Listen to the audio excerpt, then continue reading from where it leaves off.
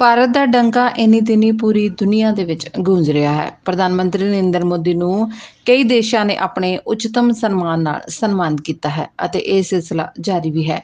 Papua new ਅਤੇ Fiji ਦੋਵਾਂ ਨੇ ਪ੍ਰਧਾਨ ਮੰਤਰੀ ਮੋਦੀ ਨੂੰ ਆਪਣੇ ਦੇਸ਼ ਦੇ ਸਰਵਉੱਚ ਸਨਮਾਨ ਦੇ ਨਾਲ ਸਨਮਾਨਿਤ ਕੀਤਾ ਹੈ। ਫਿਜੀ ਨੇ ਪ੍ਰਧਾਨ ਮੰਤਰੀ ਮੋਦੀ ਨੂੰ Companion of the Order of Fiji ਨਾਲ ਸਨਮਾਨਿਤ ਕੀਤਾ ਹੈ। ਦੁਨੀਆ ਵਿੱਚ ਇਹ ਸਨਮਾਨ ਹੁਣ ਤੱਕ ਸਿਰਫ ਕੁਝ ਗੈਰ ਫਿਜ਼ੀਸ਼ੀਅਨਾਂ ਨੂੰ ਦਿੱਤਾ ਗਿਆ ਹੈ। ਜਦਕਿ ਮੇਜ਼ਬਾਨ ਦੇ ਦੇਸ਼ ਪਾਪੂਆ ਨਿਊ ਗਿਨੀ ਨੇ ਪੀਐਮ ਮੋਦੀ ਨੂੰ ਆਪਣੇ ਸਰਵਉੱਚ ਸਨਮਾਨ ਦਾ Grand Companion of the Order of the Logohu ਨਾਲ ਸਨਮਾਨਿਤ ਕੀਤਾ ਹੈ।